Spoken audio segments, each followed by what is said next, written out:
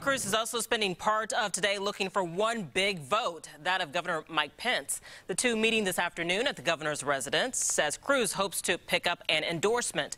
RTV6's Rafael Sanchez is there live where that meeting just ended. Rafael? Uh, good evening. Uh, Ted Cruz is heading to the GOP dinner.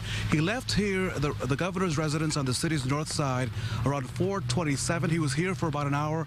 He left the residence with Governor Pence and the First Lady from the residence this afternoon, headed to where Katie is covering the big GOP state dinner. Now, Cruz came to the residence for some very key moments, that being, of course, the hopes of picking up the endorsement of the state's highest ranking Republican. They're meeting for an hour here, of course. Mr. Cruz also wanting to pick up that endorsement from the governor. In the nationwide race, Cruz is lagging behind front, front runner Donald Trump, who is leading in delegates and in the number of votes. And as you know, Cruz is now seeking the state's 57 delegates as we are now 12 12 days away from the May 3rd primary. On his way out of the residence, I did my best to ask many questions from the media rope line. Here are my questions, and let's see if I get a response.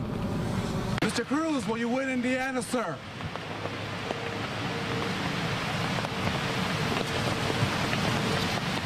Will you win Indiana, sir?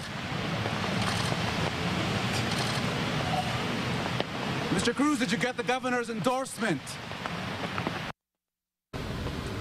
Uh, gave it my best, but did not get much of a response from Mr. Cruz, who just waved at the cameras here on the rope line. Of course, the governor will meet with another GOP presidential hopeful, that being John Kasich next week. Mr. Kasich has announced that he plans to have a town hall in Hamilton County next week during his visit to Indiana. We're live on the city's north side. Rafael Sanchez, RTV6.